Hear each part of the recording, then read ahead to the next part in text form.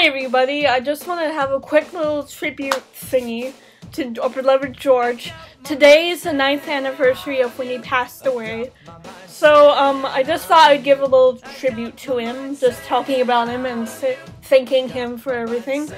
So George, we missed you a lot, of course we missed you, and um, really, we're just glad that you're safe in heaven and that um, yeah. I mean, yeah, we wish you were here with us, but we just want to remember your legacy. We we want to thank you for music, your music, your awesome music, and just being wonderful yourself as a human being, because you were really awesome, and we miss you so much, and yeah, you're a really awesome person. So yeah, rest in peace, George. Um, yeah.